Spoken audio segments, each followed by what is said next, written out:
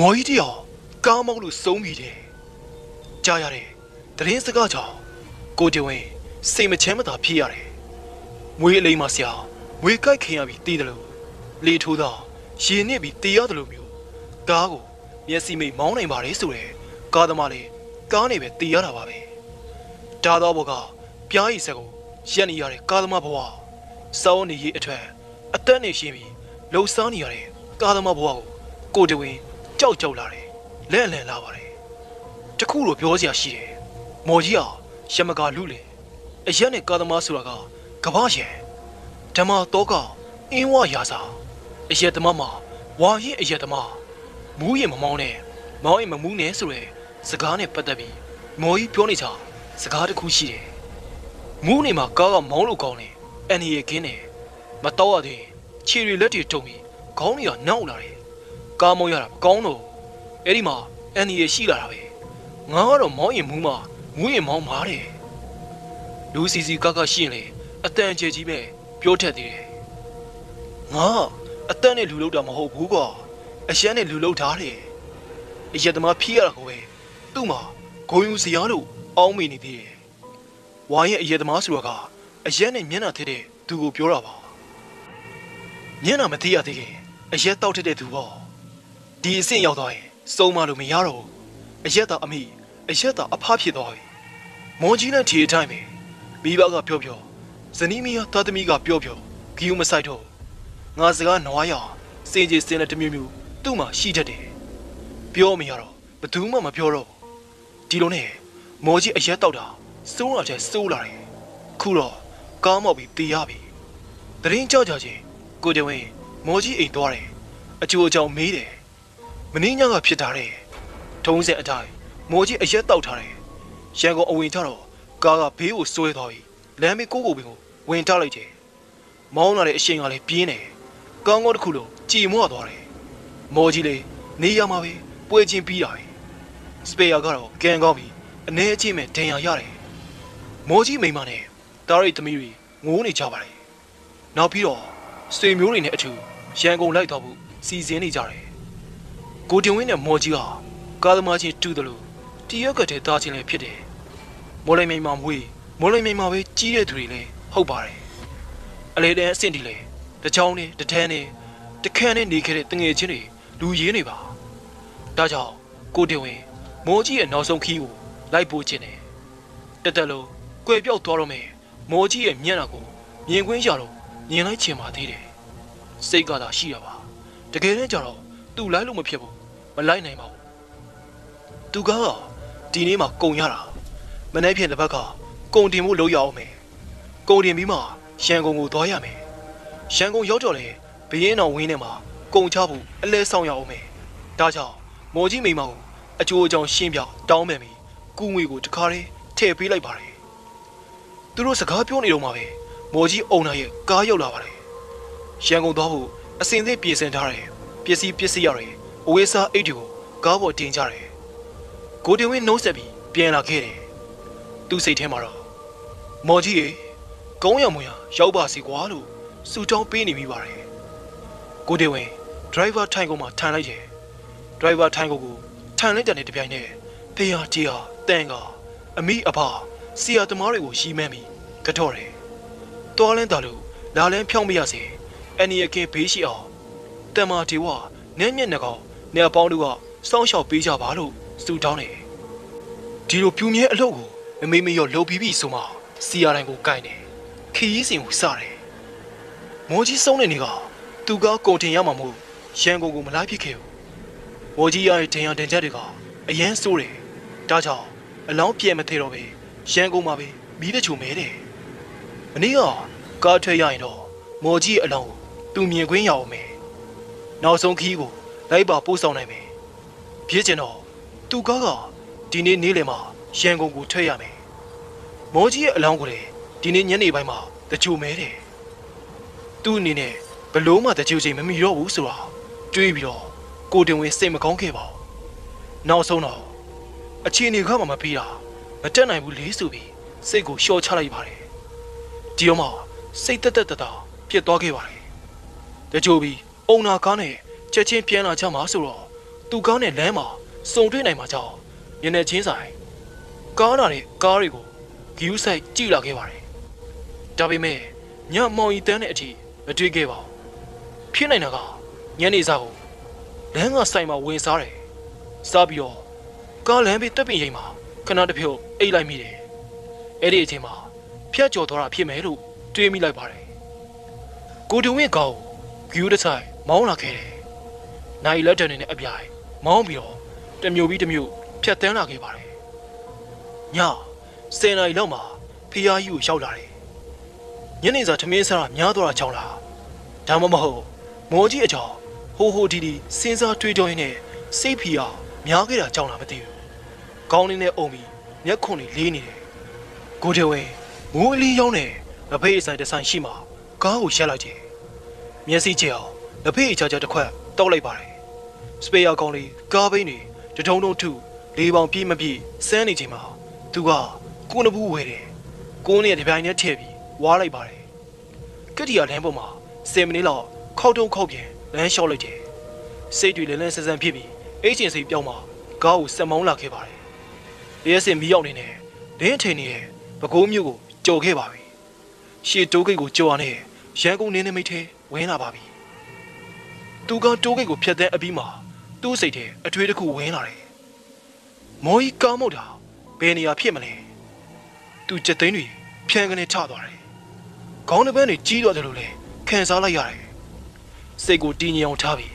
ကားကိုပဲဂီယူဆိုင်မောင်းလာခဲ့ပါတယ်။စပေယာကောင်လေးကလည်းသူ့ဘေးမှာညင်ညင်လေးထိုင်လိုက်လာတယ်။တီတီကြကြကြီးလိုက်တော့မှအဲ့နေရာတွေးလိုက်ရတယ်။သူမနှိုးဘဲနဲ့ဒီအတိုင်းထားလိုက်ပါတယ်။လမ်းပေါ်မှာကားရှင်နေရာကြောင့် စိတ်အေးလက်ကြီးမောင်းလာခဲ့တယ်။သူရှေ့ခက်လဲလဲမှာကုန်တင်ကားတစ်စီးသူ့လိုပဲရန်ကုန်ဘက်ဦးတည်ပြီးတွားနေတယ်။ကားလုံးမီတစ်စုံကိုလမ်းမြင်နေရပါတယ်။ရှုပ်ထရဲ့သူ့စိတ်ထဲမှာအန်နီရဲ့တတိပေးခေါင်းလုံးတန်တွေမြည်လာတယ်။ဟုတ်တယ်။သူ့ရှေ့ခက်လဲလန်းကနေတွားနေတဲ့ကားရဲ့မူးမမှန်ဖုံကိုလှမ်းတွေ့နေရပါတယ်။ကားကအရက်မူးသမားလမ်းလျှော့တယ်လို့ဘေကနေညာညာကနေဖဲလမ်းတစ်လမ်းလုံးပြည့်အောင် မောင်းနေရပါဒရိုင်ဘာအင်းငါပြီးမောင်းနေရဖြစ်မယ်သူ့အတွေးတော်မဆုံးသေးဘူးရှီအခါလမ်းရဲ့ဘေဘက်ကိုစွဲသွားတယ်တခါညာဘက်ခေါင်းတည်ပြီးပြန်ဆွဲလာတယ်ဒါပေမဲ့လမ်းအတိုင်းဆက်မသွားဘူးအရှိန်လုံးပြီးလမ်းမခုံးပေါ်ကျသွားတယ်ပြီးတော့လမ်းမေးကကိုကိုပင်ကြီးကိုဝုန်းကနေကြေလောင်တဲ့အတန်ကြီးနဲ့ဝင်ထွက်လိုက်တယ်ဟာသူထိတ်လန့်တခြားអော်လိုက်မိပါတယ်စပီယာကောင်လေးတောင်နှိုးသွားတယ်ဘာ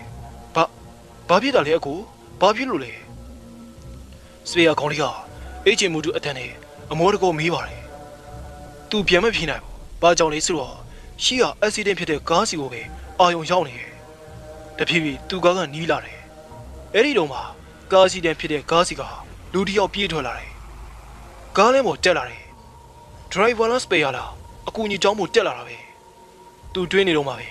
သူ့ကားကိုတားနေရတွေ့ရတယ် ဒုက္ခရောက်နေသူကိုမျက်ွယ်ပြုတ်ပြီးသူမသွားနိုင်ပါဘူးနောက်ပြီးတော့ကားသမားအချင်းချင်းလည်းဖြစ်နေတယ်သူ့ကားကိုအရှင်လျှော့လိုက်တယ်ဘလို့လူလဲဟာလမ်းမေးစင်တာမဟုတ်ဘူးကိုတင်ဝေးကိုညီမပါဒါကသူ့ရဲ့စိတ်ရင်းအမှန်ပါဒါကြောင့်လေကားအရှင်စော့ပြီးမောင်းလာတာဒါပေမဲ့ကားတန်းနေတဲ့လူကလမ်းမေးကိုမစင်ဘူးသူကမကူညီပဲမောင်းပြေးမှန်မှန်ထင်းနေသလားမသိဘူးသူကနီးခဲ့လာတဲ့အထိကားလဲအလင်မှာ ကောင်းဝဲဆန်းနဲ့ရက်နေပါတယ်ဟဲ့လူဘေးပဲလေကားမီရအောင်မှာပင်ညက်နေလို့သူဒေါသထွက်သွားတယ်ခန်းကောင်းပဲခေါင်းကိုအပြင်းထွက်ပြီးလမ်းအိုပြောလိုက်တယ်အဲ့ဒီအချိန်မှာကားတန်းနေတဲ့သူ့ရဲ့ဦးကောင်းကတဖြည်းဖြည်းနဲ့မွန်းလာပါတယ်ကားဘကသူ့ကိုကြည့်လိုက်တယ်ဟာကိုတေဝင်းစပင်မွေးတွေထောင်ထသွားတယ်။ကြောက်လိုက်ချောက်ချားစိတ်ကငယ်ရိတ်ထိတက်သွားတယ်။ မော်ကြီးသူကုန်းអော်လိုက်တယ်။ဟုတ်တယ်။မော်ကြီးမှမော်ကြီးပါ။မျက်နှာတစ်ခုလုံးသွေးအလိမ့်လိမ့်ပေကျန်းနေတယ်။မျက်နှာတစ်ချမ်းကကြည်မွနေပြီ။အသေးတုံစရာကောရုပ်ပြက်ဆင်းပြက်ဖြစ်နေပါတယ်။ကိုတင်ဝင်းချက်ချင်းသဘောပေါက်သွားတယ်။ကောင်းဦးမရက်ပဲအရှိန်မြင့်ပြီးစက်မောင်းပါတယ်။မော်ကြီးရုပ်ထရက်ပြောက်သွားတယ်။လမ်းဘေးမှာကိုကိုပင်ကိုဝင်တက်နေတဲ့ကားကြီးလည်းမရှိတော့ကိုတဝင်းတယောက်စောက်တီရမရ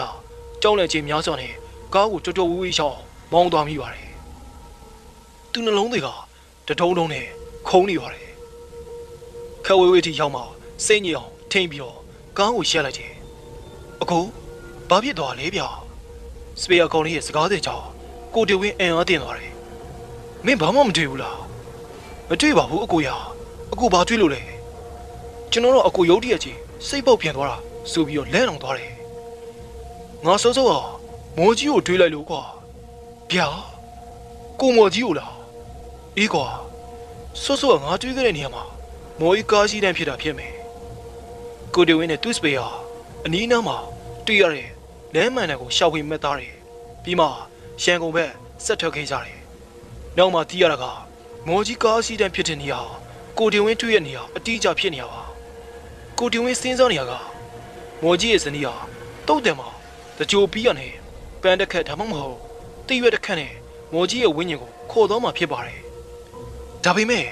အမှန်တကယ်မော်ကြီးရဲ့ဝိညာဉ်စဲကဲမိတွဲနေတဲ့နေရာကကားရှိတန်းဖြစ်တဲ့နေရာဖြစ်နေတယ်ဒီအတိုင်းသာအမှန်တကယ်ဆိုရင်သူ့အတွက်ရည်စူးပြီးကောင်းမှုကုသိုလ်လုပ်အမြတမ်းဝေတော့မော်ကြီးသိနိုင်မှာမဟုတ်ဘူးမသိရင်တာတို့ခေါ်နိုင်မှာမဟုတ်ဘူးတာတို့မခေါ်နိုင်ရင်ကောင်းမှုကုသိုလ်ရဲ့အဖို့ဘာကောင်မရခဲ့ရင်မော်ကြီးတယောက်တရေတစေတကောင်ရဲ့ဘဝနဲ့ပဲ လွင်ပါကျင်လည်နေရအောင်မလားဆိုတော့တွေးနေစိတ်မကောင်းဖြစ်ခဲ့ရပါတယ်ကိုတင်ဝင်းကတော့သူ့ကိုယ်ထေတစီချောက်ခံခဲ့ရတဲ့အကြောင်းကိုပြောပြပြီးပါပြီသူ့အဖြစ်အပျက်ကိုနားထောင်ပြီးစာရေးသူတစုံတစ်ခုကိုသိချင်နေမိတယ်အဲ့ဒါကတော့မော်ကြီးဟာသူကားစီးတဲ့ဖြစ်တဲ့နေရာကိုရောက်ရှိလာတဲ့ကားတိုင်းကိုခြောက်လက်နေရလားဒါမှမဟုတ်သူ့ရဲ့တငယ်ချင်းဖြစ်တဲ့ကိုတင်ဝင်းတယောက်တည်းကိုပဲခြောက်လက်ခဲ့တာလားဆိုတဲ့အကြောင်းနဲ့ဘာကြောင့် ဒီလိုခြောက်လက်ရတာလဲဆိုတဲ့အကြောင်းအရာတွေပဲဖြစ်ပါကြတယ်စိတ်ုံတွေကဝိညာဉ်များကြေကွဲစရာကောင်းတဲ့အဖြစ်အပျက်တစ်ခုပါတရင်ကြတဲ့သူတိုင်းနှလုံးကိုနာနာကြည်ကြည်ဖိနှင့်တယ်လို့ခံစားရပြီးအသေးမှသူအချို့တော့မျက်ရည်စိုးခဲ့ရတယ်လို့ဆိုပါတယ်အထက်ချုပ်စိတ်ယုံတစ်ခုကဂျိုဘိုဖယ်ရီကားမောက်ပြီးအမျိုးသမီးအလုပ်သမား9ယောက်တေဆုံးတဲ့တဲ့ရင်ဖြစ်ပါတယ်ဒဏ်ရာရသူ 20လောက်ထဲမှာလေအပြင်းထက်သမားတွေပါနေလို့တေစီရင်ထက်တိုးလာမှာကိုစိုးရိမ်နေရပါတယ်မြင်နေရလှန်ဆိုင်ခင်ရသူလေးတွေပါမိုးလိုက်လို့ရွာတာကိုခံနေရတဲ့ကန်ဆူးမလေးတွေအထက်စိတ်မကောင်းခြင်းများစွာနဲ့မျက်ရည်ဖြိုင်ဖြိုင်ကြားသူတွေကကြားလို့ပါဒီဖြစ်ရကရန်ကုန်လိုင်းသားရစက်မှုဆောင်မှာဖြစ်ပွားခဲ့တာပါစေယုံကနိုင်ငံသားပိုင်စေယုံပါစေယုံပါရှင်ကနိုင်ရေးကိစ္စဆောင်ရွက်နိုင်အောင်နဲ့ ကြည်ကွဲဝမ်းနေရတဲ့အထင်းအမှတ်အနေနဲ့လာစာမဖြတ်စေယုံ၃ရက်ပိတ်ပြီးမယ်လို့ကြေညာလိုက်ပါတယ်ဖယ်ရီမောက်တဲ့အချိန်ကမနေ့9နာရီလောက်မှာဖြစ်တာကြောင့်လုံခြုံရေးဝန်ထမ်းနဲ့နိုင်ငံသားဝန်ထမ်းတွေကလွှဲပြီးစက်ယုံမှာလူမရှိတော့ပါဘူး။ဝန်ထမ်းချင်းများစွာနဲ့တိတ်ဆိတ်ငြိမ်သက်ချင်းတွေကသာစက်ယုံတစ်ခုလုံးကိုခြောက်ခြောက်ခြားခြားကြီးစိုးနေခဲ့ပါတယ်။ဒီလိုအခြေအနေမှာပဲထိတ်လန့်စရာအဖြစ်အပျက်တွေဇက်တိုက်ဆိုသလိုပေါ်ပေါက်လာခဲ့ပါတယ်။ အဲ့ဒါကတော့တစီချောက်ခင်ရတယ်လို့ပြောရမယ့်အဖြစ်အပျက်တွေပဲဖြစ်ပါတယ်။အဖြစ်အပျက်တွေကနည်းနည်းရှင်းနိုင်ခွဲတီတီအချိန်မှာပေါ်လာခဲ့ပါတယ်။စေယုံတေယုံတွေကမော်တာချုပ်ဆဲလေပတ်တန်တွေတကြုံတုံထွက်ပေါ်လာတယ်။အားလုံးအန်အားတင့်သွားကြတယ်။အစပထမတော့ဘသူမှသဘောမပေါက်ကြဘူး။အလုသမားအချို့စက်ယုံပိတ်တာမသိပဲအလုစင်းနေကြတာဖြစ်မယ်လို့ယူဆမိတယ်။ဒါကြောင့်အတန်ကြားရစက်ယုံဘက်ကို အပြေလောသွားကြည့်ကြတယ်။အဲ့ဒီကြမှာပိုပြီးအန်ဝေါ်စရာကိုတွေ့ရတယ်။ဝင်းဘောတကယ်မှကြီးပြတင်းပေါက်တွေပါမကျဲစက်ယုံတကားတွေအားလုံးပိတ်ထားတယ်။စက်ကြုံတွေအတန်တွေကပိတ်ထားရဲ့စေယုံတွေကထွက်နေရပါအားလုံးတယောက်မျက်နှာတယောက်ကြည့်မိကြတယ်ပြီးတော့ပြတင်းမှန်ချက်တွေကတစ်စက်စေယုံတွေကိုကြီးလိုက်ကြတယ်စေယုံတွေကလူတယောက်မှမရှိဘူးမြင်နေကြမြင်ကွင်းအတိုင်းစနစ်တကျစီတန်းနေရချထားတဲ့ဆက်ချုပ်ခုံတွေရှိပါတယ် ဆက်ချုပ်ခုံတွေအနီးမှာမနေ့ကချုပ်လဲစားဖြစ်တဲ့ပိတ်စာအပိုင်းတွေအပုံလိုက်ရှိနေခဲ့ပါတယ်အဲ့ဒီဆက်ချုပ်ခုံတွေတဲကမှဆက်ခုံ၅ခုကဆက်ချုပ်သူမရှိပဲတဒုံဒုံလဲပတ်နေပါတယ်ပိစာကလည်းလူကျုံနေအထိုင်ကျုပ်ရဲ့အောက်ကနေညင်းညင်းတတရွေလျားနေပါတယ်စက်ကုံရှိဘက်ကိုအတန်းလိုက်ချနေတယ်မနေ့စောစောကဖယ်ရီကားမောက်ပြီးတေဆုံးသွားတဲ့စက်ချုပ်သမား9ယောက်ရဲ့ဝိညာဉ်တွေစေယုံထဲဝင်ပြီး နေစဉ်အလုစင်းနေကြအထိုင်စက်ချုပ်နေကြတာဆိုတော့အဲ့ဒီအချိန်ကျမှနားလေလိုက်ကြတယ်မော်တာအချုပ်ဆက်လေဘက်တန်တွေကစူညမ်းနေစေပါအမြင်ရတဲ့ဝင်းညင်တွေကပိတ်စာတွေချုပ်နေစေလုံချင်ရင်ဝန်ထမ်းတွေကရောစိတ်ယုံတထေရော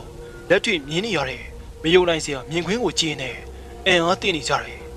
ကြောင်ငေးပြီးကြည်နေမိကြတယ်ဒီအချိန်မှာပဲအခြားစိတ်ယုံအဆောင်တွေကမော်တာချုပ်ဆက်လေဘက်တန်တွေတထုံထုံ ထပ်ပေါ်လာပြန်ပါတယ်နောက်ထပ်ချရတဲ့စိတ်ယုံစီကိုအားလုံးအပြေးတော့သွားပြီးကြည့်ကြပြန်တယ်အနေအထားကပထမစိတ်ယုံမှာဖြစ်သွားတဲ့အတိုင်းဆက်ချုပ်ခုံတစ်ခုဟာဆက်ချုပ်အလိုသမားမရှိပဲလဲပတ်နေပါတယ်ပိတ်စတွေနဲ့ဆက်ချုပ်နေပါတယ်မနေ့ကသေးဆုံးသွားတဲ့ဆက်ချုပ်အလိုသမားခုနှစ်ယောက်ရဲ့ဝိညာဉ်တွေအလုံးလျာဆင်းနေကြပြီဆိုတာတေချာသွားခဲ့ပါပြီ။ဘာကြောင့်လဲဆိုတော့လူမရှိဘဲနဲ့သူ့အလိုလိုမော်တာဆက်တွေလဲပတ်ပြီး ချုပ်နေတဲ့ခုံကလေးစေးုံနှစ်ခုပေါင်းခုနှစ်ခုဖြစ်နေလို့ပါဒီလိုဘာလို့ရမှန်းမသိပဲကြောင်တုံကြည့်နေရတဲ့အခြေအနေမှာပထမဆုံးတတိဝင်လာတာကနိုင်ငံခြားသားမန်နေဂျာပါသူကစိတ်ယုံတွေကိုလျှက်စစ်တဲအားပြီးတဲ့မိန်းကလေးကိုတောပိတ်စီပါတယ်လုံချုံရေးဝန်ထမ်းတစ်ယောက်ကမီးခလုတ်ကိုပိတ်လိုက်တယ်တွန်းထားတဲ့ဖန်ချောင်းတွေမီးငိမ့်သွားတယ်ဟာဟဲစတယ်စတယ်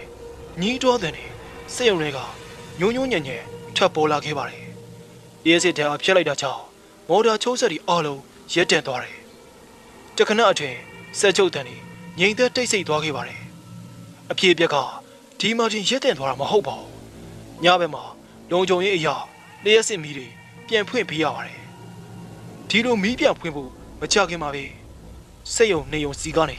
မော်တာဆက်လေးပဲတန်နေစူးစူးညံ့ညံ့နဲ့ထပ်ပေါ်လာပြန်ပါတယ် လျှက်စစ်မီးပြတ်ထားတော့လုံခြုံရေးအထက်စိတ်မချရလျှက်စစ်မီးဖွင့်တော့မော်တာချုပ်ဆက်တွေလဲလာပြီးတရေချောက်ခင်ရတဲ့အထက်စိတ်ယုံပါရှင်ရောလုံခြုံရေးဝင်တဲ့နေပါစိတ်ညစ်ခဲ့ရပါတယ်အဆိုးဆုံးဖြစ်ရကတော့စိတ်ယုံပြန်ဖွင့်တဲ့နေ့မှာပါစိတ်ယုံဖွင့်ရဖြစ်တာကြောင့်ဆက်ချုပ်အလုပ်သမားအားလုံးအလုပ်ဆင်းကြတယ်လျှက်စစ်ထဲအားလွတ်ပြီးအလုပ်သမားတွေဆက်ချုပ်နေကြခြင်းမှာလူမရှိတဲ့စက်ကုံတွေကပါအလိုလျောက်လဲပက်ပြီးဆက်ချုပ်နေကြတဲ့အဖြစ်ပါ ဆက်ချုပ်သမားတွေကြောင်းလန့်နေကြတဲ့စိတ်ယုံအပြင်ဘက်ကိုပြေးထွက်ခဲ့ကြတယ်စိတ်ယုံတစ်ခုလုံးစုညံပွဲလို့ရိုက်သွားပါတယ်သူတို့အားလုံးစက်တွေကိုပိတ်ပြီးပြေးထွက်ခဲ့ကြပြီမယ်ဝင်းညင်ချုပ်တဲ့စက်ခုံတွေကတော့စုညံတဲ့မောသားစက်တန်တွေနဲ့အတူပိတ်စာတွေကိုဆက်လက်ချုပ်နေတော့မယ်ဖြစ်ပါတယ်ရှက်လက်နေမှာတေဆုံးသူအားလုံးအထက်ရည်စုပြီးရဲလက်ဆိုချေတရားနာတာအမြတမ်းပေးဝေတာတွေပြုလုပ်တယ်ဒါပေမဲ့ မသိမီမှာစေယုံကိုဆွဲလန်းတဲ့စိတ်ဖြစ်ပေါ်သွားတာကြောင့်14ရက်လောက်ကြာတဲ့အထိစိတ်ယုံမှာမိတွဲနေစေဖြစ်ပါတယ်။နေရောညပါတေသူဝင်းညင်တွေရောက်လာပြီးဆက်ချုပ်နေရကြောင်းအလုသမားတွေမစင်ရပဲအလုပြက်ကြတယ်။နောက်ထပ်တစ်ချိန်ပေတရားတွေရွတ်ဆိုဖယ်ရှားပေမဲ့မပြောက်ခဲ့ပါဘူး။နောက်ဆုံးမှာတေဆေရတော်တစ်ပါးကြွလာတယ်။သူတို့အထက်စေယုံဝင်းတွေကတပင်ကြီးတစ်ပေမှာနေရာတက်မှတ်ပေးလိုက်ပါတယ်။ ဘဝတစ်ပါးပြောင်းရွှေ့သွားပြီဖြစ်တဲ့အတွက်စေယုံရဲ့လုပ်ငန်းတာဝန်နဲ့မသက်ဆိုင်တော့ကြောင်းအမိန့်ပြန်ပေးလိုက်ပါတယ်။ဒီတော့မှတစေချောက်တဲ့ဖြစ်ရက်တွေပျောက်ခွေသွားခဲ့ပါတော့တယ်။ဒီဖြစ်ပျက်တွေပြောပြတဲ့သူကအဲ့ဒီအထည်ချုပ်စက်ရုံမှာကွန်ပျူတာစက်ရင်းမှာအလုပ်လုပ်နေတယ်။အိမ်ကြီးချင်းမိတ်ဆွေတယောက်ရဲ့သမီးလေးပါ။ကားမောက်တဲ့နေ့ကသူလည်းဖယ်ရီစီးဖို့မှတ်တိုင်မှာစောင့်နေခဲ့ပါတယ်။နောက်တဲ့ဖယ်ရီကဒိုင်နာလိုက်ထွဲဖြစ်နေလို့မစီးခဲ့ပါဘူး။သူကဒိုင်နာတဲ့ဆိုင် အန်နီရဲ့ခင်းနဲ့ BM ferry ကိုပဲစီးနေချောင်းစင်ကာမိနစ်လောက်အကွာမှာ BM ရောက်လာလို့လိုက်သွားခဲ့ပါတယ်ရှေ့တနေရာမှာလမ်းမေးကြောက်တဲ့ကိုထိုးချပြီးပက်လက်လန်းနေတဲ့သူတို့စေုံက ferry ကိုတွေ့ရတယ်။အော်ဟင်ငိုယိုတဲ့နေစူညံနေတယ်။ရုပ်ပြစင်းမြပွဲချင်းပြီးသေးနေတယ်။အမျိုးသမီးလေးတွေသွေးတန်တရေချင်းနဲ့ဒဏ်ရာရကြသူတွေအခြေအနေကကဘာဖြစ်တဲ့အတိုင်းပါပဲလို့ဆိုရတယ်။ခုချိန်မှာတော့ဒီပြက်ပြက်တွေဟာ နှစ်တော်တော်ကြာမြင့်ခဲ့ပါပြီ။စေယုံဝင်းတွေကတပင်ကြီးမှာပဲနေရာပေးထားတာပေါ့။နာနာဘဝတစေတရေတွေရှိနေအောင်မှာပဲဖြစ်ပါတယ်။၆တန်လဲနာတော့မဖြစ်တော့ဘူးလို့ပြောပြခဲ့ပါသေးတယ်။အိမ်မက်တစ်စင်းနဲ့တွေ့ဆုံခြင်းဒီဖြစ်ပျက်ကအရန်ထူးဆန်းနေအဟောဖို့လေတိတ်ကောင်းတယ်ဘလို့အကြောင်းကြောင့်အမှန်တကယ်ဖြစ်ဖြစ်လာမယ်အကြောင်းအရာကိုကျမတရက်ဂျူတင်ပြီးအိမ်မက်ထဲမှာမြင်ခဲ့ရတယ် ကျမစဉ်းစားလို့ကိုမရဘူးဆိုင်သူကိုပြောပြနေရဲ့ဒေါ်တင်လာမြင့်ဆိုရဲ့ကျောင်းဆရာမတယောက်ပါရန်ကုန်တိုင်းအေးစိန်မျိုးနယ်တဲကမူလာတဲ့ကျောင်းတစ်ကျောင်းမှာတာဝန်ကျနေပါတယ်ရှိကထွက်ခဲ့ပြီးစာအုပ်အချို့မှာစာပဲသူအနေနဲ့ကိုယ်တိုင်ကြုံတွေ့ခဲ့ရတာဒါမှမဟုတ်တစင်ကြားသိခဲ့ရတာအမှန်တကယ်ဖြစ်ပျက်ခဲ့တဲ့ထူးခြားစမ်းကြယ်အဖြစ်အပျက်တွေရှိပါကစာရေးသူရဲ့ဖုန်းနံပါတ်ကိုဆက်သွယ်ပြီးဖို့မြစ်တာရက်ခံခဲ့ပါတယ်အဲ့ဒီနောက်မှာစာပဲပရိသတ်အချို့ စာရေးသူစီကိုဆက်သွယ်လာခဲ့ပါတယ်အချို့ကတီချမ်းခင်မင်ဖို့ဆက်သွယ်ပြီးမယ်အများစုကသူတို့ကြုံတွေ့ကြားသိခဲ့တဲ့ထူးဆန်းတဲ့အဖြစ်အပျက်လေးတွေကိုပြောပြချင်လို့ပါအဲ့ဒီအထင်းမှာဆီယမဒေါ်တင်လာမြင့်လည်းပါပါတယ်သူပြောပြတဲ့အကြောင်းအရာကထူးခြားစမ်းကြယ်ဖြစ်ရတွေချင်းရှာဖွေရှိသားနေတဲ့စာရေးသူအထက်အရင်ကြီးထူးခြားတဲ့အဖြစ်အပျက်တော့မဆိုနိုင်ပါဘူးဒါပေမဲ့ဒီကမ္ဘာလောကကြီးမှာ ကြိုးကြောင်ဆက်နေမှုနဲ့ကင်းပြီးဘာတစ်ခုမှမဖြစ်ဘူးလို့ယုံကြည်ထားတဲ့စာရေးသူအထက်တော့တွေးတောစရာစဉ်းစားစရာအချို့ဖြစ်တည်ခဲ့ပါတယ်ဒါကြောင့်လေတင်ပြရခြင်းပဲဖြစ်ပါတယ်တညမှာကျမအိမ်မက်တစ်ခုမက်တယ်အိမ်မက်ထဲမှာကျမအကြောင်းကိုသွားနေတယ်ကျောင်းကလည်းကျမလက်ရှိတင်ကြနေရတဲ့စာတင်ကျောင်းမှာကျောင်းရှိမရောက်မီလမ်းတနေရာမှာတစီမာကြီးတယောက်နဲ့တွေ့တယ်အဲ့ဒီတစီမာကြီးက ယူဆိုးလိုက်တာလွန်ရောဒါပေမဲ့ကျမကြောက်မနေခဲ့ဘူးအဲ့ဒါတော်တော်ထူးဆန်းတယ်အဲ့ဒီတစီမာကြီးကဆီယာမာလို့ကျမကိုခေါ်တယ်ကျမကြည့်လိုက်တော့ကျမကိုလက်ရက်ပြီးခေါ်တယ်သူခေါ်တာကလျှို့ဝှက်တဲ့အကြောင်းအရာတစ်ခုကိုတွေ့လို့သိလို့ကျမကိုပြောပြဖို့ခေါ်တဲ့ဟန်နဲ့ပါကျမလည်းဘူးမသိဘာမသိပါပဲသိချင်တာကြောင့်အဲ့ဒီတစီမာကြီးစီကိုသွားခဲ့ပါတယ်သူကကျမကို အမိုက်ပုံတစ်ပုံသားကိုဆွဲခေါ်သွားတယ်အမိုက်ပုံအနီးမှာလူတစ်ယောက်ထိုင်နေတယ်အသက်50လောက်ရှိတဲ့ယောက်ျားကြီးသူ့ကိုကြည့်ရတာတကယ်အယက်သမားကြီးဆိုတာသိတာတယ်မျက်နှာတွေတော့ပွာရောင်ရောင်ဖြစ်နေပါတယ်အယက်ဖောဖောနေတဲ့လက္ခဏာပေါ့တစီမာကြီးကအယက်သမားရဲ့လက်ထဲကအရာကိုလက်ညှိုးထိုးပြတယ်ကျမကြည့်လိုက်တယ်အာကနေလမ်းအောင်မီလို့မလို့ဗဇက်ကိုလမ်းနဲ့အချိန်မီပိတ်လိုက်ရတယ် အယက်သမားကြီးရဲ့လက်ထဲမှာချက်ချိုးတက်လန့်နဲ့ဝေးကစားကလေးနီတာရဲလေးကိုတွေ့ရတယ်ကလေးကယောက်ျားလေးဒါပေမဲ့သေးနေပါပြီထင်းထင်းရှားရှားတင်ရတစ်ချက်နောက်စိအနီးမှာတွေ့ရတယ်ဒန်ရန်ကသွေးထွက်နေတယ်ရှင်ဘာလုပ်နေရလဲကျမကမေးလိုက်တယ်အရက်သမားကြီးကကျမကိုမော့ကြည့်ပြီးလန့်သွားတယ်ဘာမှမလုပ်ပါဘူးကလေးကိုတကြုံမလို့ပါလို့ပြောပါတယ်ကျမလည်းခက်ငုံငုံနဲ့ပဲတွားလီ အမြင်သွားလို့ပြောလိုက်ပါတယ်သူကကလေးအလောင်းကိုထုတ်ထားတယ်ပစိုးစုပ်လူဟာနဲ့လုံအောင်ထုတ်လိုက်တယ်ဟုတ်ကောင်မလာသေးလို့စောင့်နေရလို့ကျမကိုပြောတယ်အဲ့ဒီအချိန်မှာကျမကိုခေါ်လာတဲ့တစီမာကြီးမရှိတော့ပျောက်သွားပြီအိမ်မက်တူရဲ့သဘောဝအတိုင်းဟိုရောက်ထီအောင်ဟိုမက်ဒီမှာမက်တယ်လို့ပဲထင်မိပါတယ်အဲ့ဒီနေရာမှာပဲကျမနိုးသွားတယ်အိမ်မက်ကဒါပဲမထူးဆန်းပါဘူးကျမအနေနဲ့လည်းမိမိပြော့ပြော့ဖြစ်သွားခဲ့ပါတယ်မနေ့ကျတော့ ထုံးစံအတိုင်းကျမချောင်းကိုတွားရတယ်ကလေးတွေကိုစာတင်ပြတယ်ဒီလိုနဲ့နေလေစာ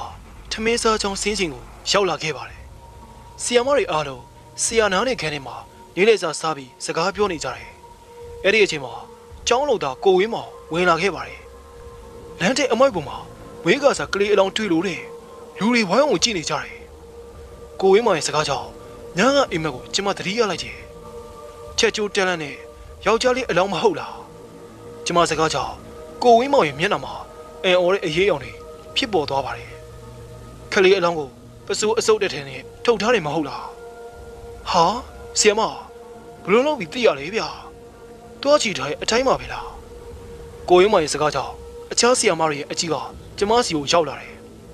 တစ်ချိန်လုံးစာတင်ခန်းထဲမထွက်ဘဲနဲ့ဒီကိစ္စကိုကျမဘလို့လို့ပြီးသိရတယ်ဆိုရယ်ဘယ်ဟင်းနီမျက်နှာတွေနဲ့ကျမထပ်ပြောလိုက်တယ် အဲ့ဒီကလေးအလောင်းကိုကိုရင်းမောင်တိတိကျကျကြည့်ခဲ့လားဦးကောင်းနောင်စီမှာဒင်ယာတစ်ခုရထားတယ်ဒင်ယာကနေသွေးတွေထွက်နေတယ်ဒါတော့မသိဘူးဆရာအပတ်နဲ့ထုတ်ထားလို့မမြင်ခဲ့ဘူးဗျာဒါဆိုရင်အဲ့ဒီဒင်ယာရှိမရှိကိုရင်းမောင်တွားကြည့်ပေးပါဦးအဲ့ဒီအချက်သားမရင်အလောင်းလာပစ်ထားတဲ့သူကိုကျမသိပြီကိုရင်းမောင်ထွက်သွားတယ်ဆရာမတယောက်ကအမမြင်ဘလို့သိနေရလဲအံဝတ်ဆရာပဲလို့ပြောတယ် ကျမကအချားမြင်ရရလေကျမကသူတို့ကိုတန်အောင်တော်ဖြစ်နေမှုကိုပေါ်တော့ရည်စရာလုပ်ပလိုက်ပါတယ်မကြပါဘူးကိုဝင်းမောင်ပြန်ရောက်လာတယ်အံဝတ်ဆရာပဲဆရာမကြီးဆင်မပြောတဲ့အတိုင်းပဲခလေးရဲ့ဦးကောင်နောက်စီမှာဒဏ်ရာတစ်ခုရှိတယ်ရဲတွေကတော့ကလေးကိုတက်ထားတာလို့ပြောတယ်ရဲခွက်ရုံးထဲမှာလက်သက်တွေအားလုံးကိုခေါ်ပြီးတော့စစ်ဆေးနေပါတယ်ကဲဒါဆိုရင်ကျမအကြက်ဟောလိုက်မယ်ဒီကလေးအလောင်းကိုလာပစ်တဲ့သူဟာတေချာပေါက် ရဲသမားနှစ်ယောက်ဖြစ်ရမယ်ကိုဝင်းမောင်စုံစမ်းကြည့်ပါဦးအဲ့ဒီအချိန်မှာကြောက်တဲ့ခေါင်းလုံးထုတ်လို့ကျမတို့စာတင်ခန်းတွေထဲဝင်ခဲ့ရတယ်ဒီလိုနဲ့ညနေကျောင်းဆင်းခြင်းကိုရောက်လာခဲ့ပါတယ်ကျောင်းသားတွေကိုဆင်းခွင့်ပြုလိုက်ပြီးတော့ကျမကတော့စစ်ဆေးလက်စသူတို့လေးတွေရဲ့တင်ငန်းစာစာအုပ်တွေကိုစစ်ဆေးနေမိပါတယ်9မိနစ်လောက်ကြာမှစာတင်ခန်းတွေကထွက်လာခဲ့ပါတယ်နားနေခန်းရဲ့အပြေဘက်မှာဆီယမအချိုးနဲ့ကျောင်းလို့သားကိုဝင်းမောင်တို့ မတ်တက်ရဲ့စကားပြောနေတာတွေ့ရတယ်ဟောဆီယမလာပြီကိုဝင်းမောင်ရဲ့အတန်ကိုကြားလိုက်တယ်အမမီးရေလာပါဦးနေ့နေ့ကကလေးအလောင်းပြစ်တဲ့ကိစ္စနဲ့ပတ်သက်ပြီးအမမီးဘယ်လိုလုပ်ပြီးသိရလဲဆိုတာကျမတို့စိတ်ဝင်စားနေကြတာအခုလေကလေးပြစ်တဲ့ကိစ္စမှာအရက်သမားနှစ်ယောက်ပါဝင်ပတ်သက်နေတာဟုတ်မဟုတ်မေးကြည့်နေတာအမမီးပြောတဲ့အတိုင်းကွက်တီပဲတဲ့အမမီးရေဆီယမတယောက်ကကျမကိုလန့်ခွဲနေပြောလာပါတယ် ကျမပြောသလိုအရက်သမားနှစ်ယောက်ပတ်သက်နေတယ်မဟုတ်လားကျမကိုဝင်းမြင့်ကိုမီးတယ်ဟုတ်တယ်ဆရာမဖြစ်ပုံကဒီလိုဗျာရဲကရက်ွက်ရုံမှာလက်တည်တယောက်ချင်းကိုခေါ်ယူပြီးတော့စစ်ဆေးတယ်ညကဘသူ့ကိုဝေးပါပေးခဲ့ရတယ်လေပေါ့အဲ့ဒီမှာပေါ်တော့တာပဲမိဘတဲ့မိန်းကလေးကအိမ်တော်မရှိရသူလေဒါကြောင့်ကလေးကိုအရက်သမားနှစ်ယောက်ကိုအရက်ဖို့ပေးပြီးစွန့်ပစ်ခိုင်းတာကလေးအသေးလေးမွေးလို့ တုတ်တယ်မှာတွမ်းမြုပ်ခိုင်းနေပြောတယ်အဲ့ဒါကိုအရက်သမားနှစ်ယောက်ကအမိုက်ပုံမှာပြစ်ထားခဲ့တာတဲ့အရက်သမားနှစ်ယောက်ကိုစစ်တော့တုတ်တယ်မှာမြုပ်ဖို့လုံးနေတော့ခွေးချီသွားတယ်လို့ပြောတယ်ရဲကတော့တဲဆိုင်တဲ့သူတွေကိုစကဲခေါ်သွားပြီးစစ်နေတယ်တဲ့အဲ့ဒါတွေထားပါတော့ဒီအကြောင်းအရာတွေကိုဆီယမဘယ်လိုလုပ်ပြီးအစအဆုံးခရီးစည်းတွင်းကြောင်သိနေရလဲဆီယမတစ်ယောက်ကကိုဝင်းမောင်ရဲ့စကားကိုဖျက်ပြီးတော့ကျမကိုမေးပါတယ် ဘယ်လိုလုပ်ရမလဲကျမစဉ်းစားမိတယ်ကျမဘေးရင်ဆီယမမဟုတ်ဘူးနေဝင်ဘူးပြောပြတဲ့နဲ့ကြော်လည်းမဟုတ်ပါဘူးနောက်ပြီးအထက်လန်းပုံကိုယ်တွေဘိုးတော်တွေစောင့်ရှောက်ပေးတဲ့အချမ်းမြင်ရသူလည်းမဟုတ်ပါဘူးဘလို့ပဲဖြစ်ဖြစ်အမှန်တကယ်ဖြစ်ပျက်ခဲ့တဲ့ဒီဖြစ်ပျက်ကိုတရက်ကြိုပြီးကျမအိမ်မက်မက်ခဲ့ပါတယ်အိမ်မက်ထဲမှာတစီတကောင်ကကျမကိုခေါ်သွားပြီးဒီဖြစ်ပျက်တွေကိုပြသခဲ့တာဖြစ်ပါတယ်ညကအိမ်မက်ထဲမှာတစီမတကောင်နဲ့တွေ့ခဲ့ပါတယ် အဲ့ဒီတစီကဒီဖြစ်ပျက်တွေကိုကျမကိုကြိုပြီးပြသွားတာပါဒါကြောင့်ကျမခရီးစည်းတွင်းကြောင့်တီးခဲ့တာလို့ပြောလိုက်ပါတယ်သူတို့အားလုံးစဝေးစွာဖြစ်သွားကြတယ်ကျမပေါ်မှာဘေးနီးအရေးအယောင်တွေတန်းနေပါတယ်ယုံလည်းမယုံချင်မယုံလို့လည်းမဖြစ်ဆိုတဲ့အကြက်တဲကိုသူတို့ရောက်နေပြီဆိုတာကျမသိလိုက်တယ်သူတို့ဘလို့ပဲထင်မြင်ယူဆပါစေကျမသစ္စာဆိုပြီးပြောရတာကတော့ဒီအဖြစ်အပျက်က အမှန်တကယ်ဖြစ်ပျက်ခဲ့တဲ့အဖြစ်အပျက်တစ်ခုဆိုတော့ပါ ဆရာကိုပြောပြလိုက်ရလို့ကျမစိတ်တွေပေါ်ပါသွားတယ်ဆရာအနေနဲ့လည်းကြိုက်တယ်လို့ထင်မြင်ယူဆနိုင်ပါတယ်ဆရာမဒေါ်တင်လာမြင့်ကသူ့ဇလန်ကိုအဆုံးသတ်လိုက်ပါတယ်အဆုံးသတ်မှာသူပြောတာကသူ့ရဲ့ဇလန်တွေကိုယုံချင်လဲယုံမယုံချင်လဲရပါတယ်ဆိုတဲ့သဘောပါဒါပေမဲ့သူ့ရဲ့ဇလန်ကိုနားထောင်ပြီးစာရေးသူစဉ်းစားနေမိတာကဒစီမအနေနဲ့ဘာကြောင့်ဒေါ်တင်လာမြင့်ကိုမှရွေးပြီးအိမ်မက်ပြီးရလဲသူ့အနေနဲ့ ဒေါ်တင်လာမြင့်ကိုဘာပြောချင်တာလဲဆိုတဲ့မေးခွန်းရဲ့အဖြေပါဘလို့ပဲဖြစ်ဖြစ်ဒီမေးခွန်းရဲ့အဖြေကိုစာရေးသူမရပါမယ်ဒီလိုအိမ်မက်ပေးရခြင်းနောက်ခွင်မှာဆက်နေနေတဲ့အကြောင်းကိစ္စတစ်ခုရှိနေပါမယ်ဆိုတာကိုတော့မတွေ့မလဲယုံကြည်လေးရဲ့ရှိနေစေပဲဖြစ်ပါတယ်ဟုတ်ကဲ့ပါခင်ဗျာဒီဇလန်လေးတော့ဒီလောက်နဲ့ပဲအဆုံးသက်သွားပါတယ်ခင်ဗျာ